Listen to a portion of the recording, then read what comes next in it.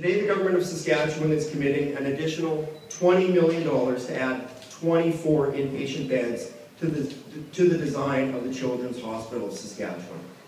That will mean an additional nine maternal inpatient rooms and 15 inpatient rooms added to children's services, bringing the total number of inpatient beds from 152 to 176.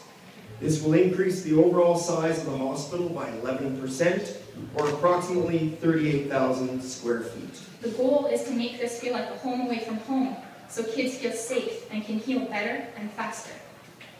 I've overheard and seen so much negativity about this hospital on social media. It honestly makes me very sad.